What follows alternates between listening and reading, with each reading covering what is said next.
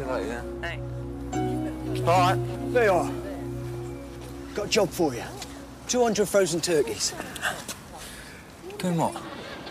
They're not doing nothing, they're frozen. No, no, no. What's the job?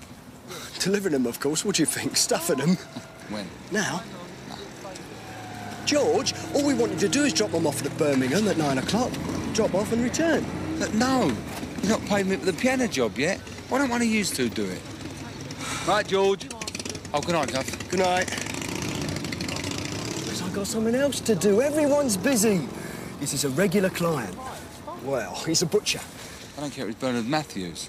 I'm not taking one turkey to Birmingham, let alone 200. Doesn't want to take them. Oh, come on, George. Here, I was having tea this afternoon with my dear sister, and the doorbell rings. Well, it's the landlord, and he wants his rent.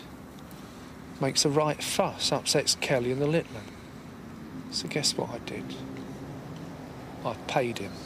You did what? Paid him till the end of the month. You bailed out your sister. I do the same for mine. So let's talk turkey. Here's the address.